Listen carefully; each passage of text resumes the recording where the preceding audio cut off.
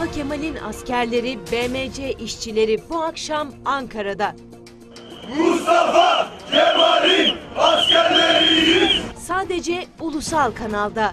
Bugün saat 23'te Ankara'dan canlı yayında.